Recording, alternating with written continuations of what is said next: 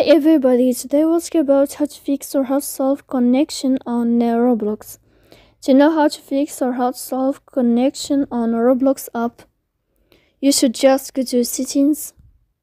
After that, you can click on apps, default apps, app settings.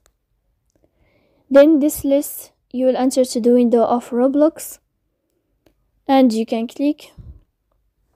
Here in this page of app info, you can click on force stop and you can click OK.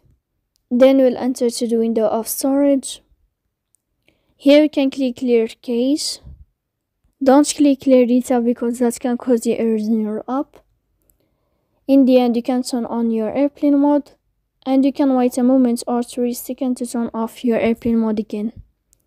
So please don't forget to support us by like and uh, subscribe. See you next time in another video and uh, thank you for watching.